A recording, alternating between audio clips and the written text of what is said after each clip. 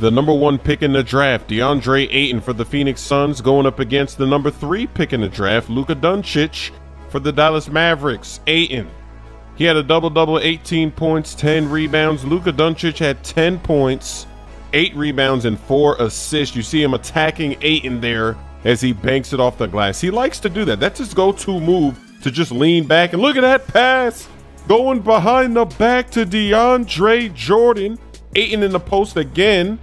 Doesn't matter if there's a double team, they're too little. He's abusing the mismatches. That's nice to see a big man play like a big man.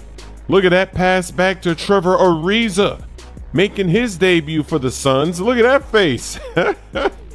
He's having a good time. He's coming over from the Rockets.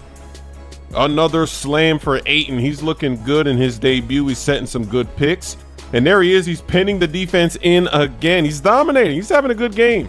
Devin Booker also with a nice game. He dropped 35 points in this one. So it helps when you've got somebody on your team doing this. Ooh! The shot clock cheese splash. Now he's dancing again. He's going to take it inside for the layup and one. And then he's going to quick catch and shoot. Make it splash. And they're extending this lead. Only three minutes to go. He's just going to pull up again. The Phoenix Suns cruise to victory. Getting bumped. You know what that means? Ooh, I got him with the rondo. I hit him with that fake. I hit him with that dream shake. Ooh. Ooh. Give that guy a map. Where are you going? The Pacers